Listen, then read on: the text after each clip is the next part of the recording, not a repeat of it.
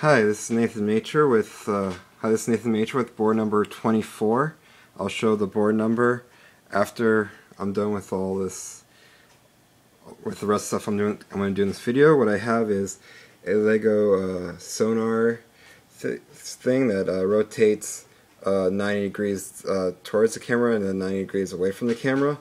Um, and while it's doing that, it's reading the sonar values, which will probably reflect off this box here, and uh, it's graphing them uh, by um, graphing them in another program, which you'll see on the screen if you can see it. it has to focus.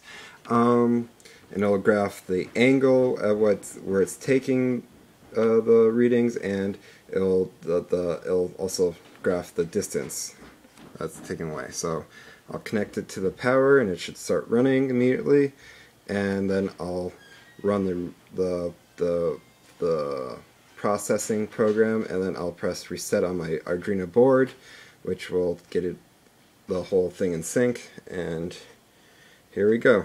So connect the power. here we go.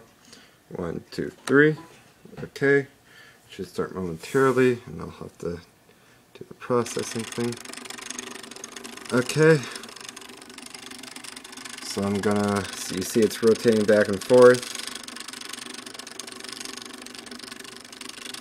Now I'm gonna run the processor and then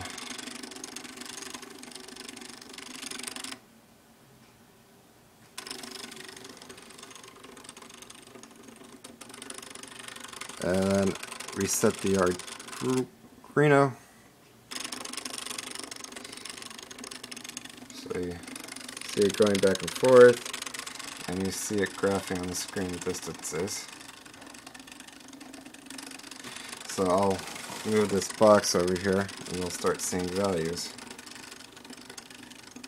So you see accumulating a lot.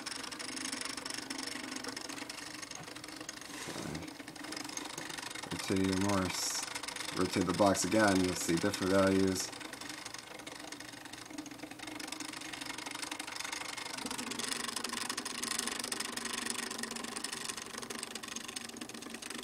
So I can see the numbers changing, shake your camera and all.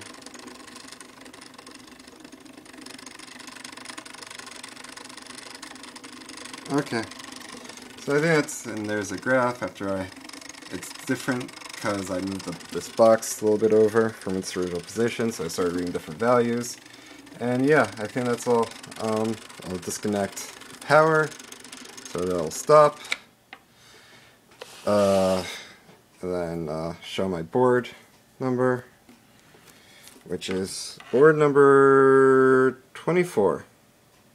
And fortunately, the permanent mark is worn off on the other breadboard, but board number 24. Okay, so I hope you enjoyed the video, and yeah, peace out.